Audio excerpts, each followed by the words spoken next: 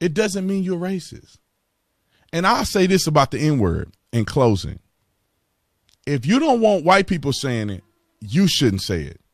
And if black people can say it, then white people can say it. That's just the way it is. If you're so hurt by the word, sh- won't you shut your mouth and stop using it?